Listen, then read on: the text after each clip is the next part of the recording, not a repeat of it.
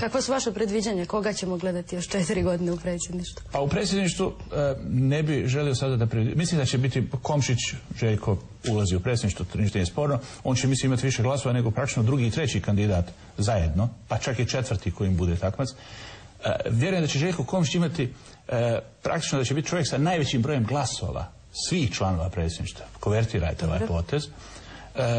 I pokazat će se, dakle, da je predsjednik i Hrvata i svih građana ove zemlje koji doživljavaju da je njegov program pravi, e, a bit će mrtva trka, moram priznati. Mislim da će biti mrtva trka između Radmanovića i Mladena Ivanića.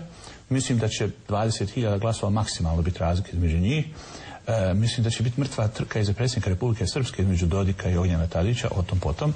A kada je u bošnjački član predsjedništva, ja mislim da će biti isto maksimalno 20.000 glasova razlika između Harisa Silajđića i kandidata SDA kogod to bio.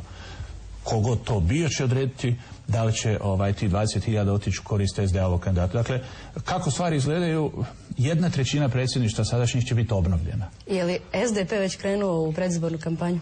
Pa pazite, mi praktično ovaj, smo u predizbornoj kampanji u mjeri u kojoj jednostavno pokušavamo da e, javnosti predočimo svoj program, da predočimo javnosti ono što mi mislimo da radimo. Mi smo praktično godinu dana radili na našem zajedničkom programu izbornom i upravo na tom izbornom programu želimo da stvorimo, stvorimo koaliciju posle uh, Sve je više ocjena kao i pred svake izbore da je ova retorika nacionalistička, da je zapaljiva, da će pred izbore naravno biti sve još gore. Ocjenjujete li vi to tako već? Ja vjerujem da će to biti tako.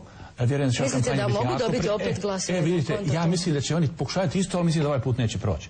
Mislim da ovaj... Svjesni su svi krize. Mislim da su sve svi krize i pazite, ljudi, istraživanja koje mi imamo, koje smo radili, ne, ne da vidimo kako mi stojimo, nego šta ljudi zaista hoće iz razgovora koje smo imali sa ljudima. Pazite, u našem programu je učestvovalo preko 10.000 ljudi u posljednjih godinu dana u raznim skupovima, gdje smo pokušali da vidimo šta su njihove najvažnije, šta ih najviše brine. I budite uvjereni, među pet kapitalnih pitanjima, pa, pitanja su sve životna pitanja. Ekonomija, ekonomija, ekonomija, ekonomija, posao, posao, posao, plata, plata, plata, Dakle, da je prvo imamo, onda da bude veća. Drugo, čitav set socijalnih reformi. Tako ne možemo biti dio Europske unije ako nemamo europske standarde. Apsolutno. Zatim, e, borba protiv korupcije očigledno je sve ozbiljni problem. Ljudi će se opredljivati prema tome kome vjeruju, ne više koga, pazite, ne radi se više o tome, e, mislim da će ljudi e, se odlučivati više prema onoga u kome vjeruju da se može uhvati u koštac sa pravim problemima. E, danas je jasno i Srbima, i Hrvatima, i Bošnjacima, i običnom čovjeku iz jednog, drugog, i trećeg naroda, pa i oni koji ne pripadaju nijednom od njih, da u stvari iza tih veliki nacionalni priča u stvari stoji, stoji jedna velika obmana jednog malog broja ljudi koji žive od toga što su po nacionalnosti to što su. A ne može, ne mogu, ne može četiri miliona ljudi živjeti od toga što su nešto po nacionalnosti. Kako onda ocjenjujete pohvalu MMF-a upućenu vladi federacije vezano za reforme koje su potrebne se provesti i kako uopće ocjenjujete to trebaju li nam ti krediti? Pazite, e, ja se ja se ne čudim MMF-u što ih je pohvalio i ja bih pohvalio da sam MMF. Prvo MMF je preko puta sebe imao ljude koji su napravili jedan katastrofalan dil za ovu zemlju. Ja sam u parlamentu rekao e, SDP ukoliko bude na čelu vlade koja bude doza i rekao sam ljudima iz MMF-a, EBRD i svjetske institucije, mi vam nećemo vraćati kredite način kako ste s ovima dogovorili. E, morat ćemo ponovo se dogovarati. Zašto? Zato što... Da li je to uopće moguće? Moguće, moguće. Zašto da ne? Zašto da ne? Pa pazite, šta su radili? Molim vas. Uzeli su 1,2 milijarde eura kredit. 1,2 milijarde, ili pa pričamo u markama, 2,5 milijarde maraka su uzeli kredite. Kompletno zaduženje Bosne i Hercegovine. Od kralja Petra preko Tita do ovih post Dejtonskih vremena, danas je država Bosne i Hercegovine dužna 4 milijarde maraka. A pazite, oni su u jednoj kašci zagrabili 2,5. I sada su se dogovorili sa MMF-om da to dvije godine se ništa ne vraća, a da se onda sve vrati za tri godine.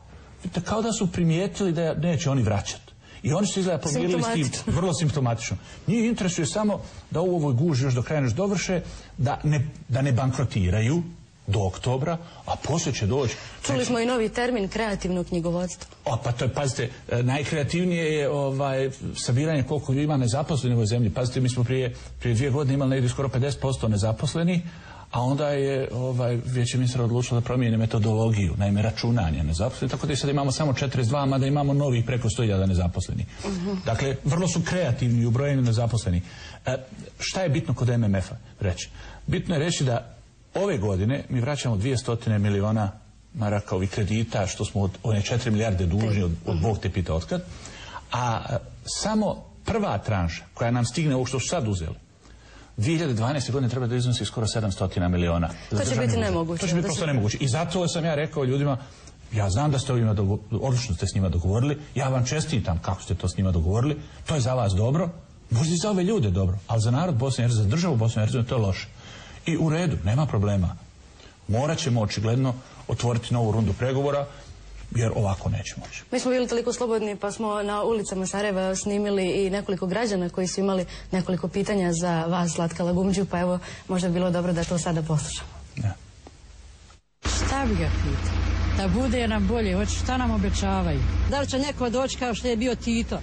Da nam bude svima jednako, da ne bude samo bogati i siromašni. Da li bi nam bilo bolje posle izbora? Da ga vidim, znate šta pitao, kako se ovo država da uređuje. Zlatko Lagumđu? On mi je profesor, ne smijem njega ništa pitati.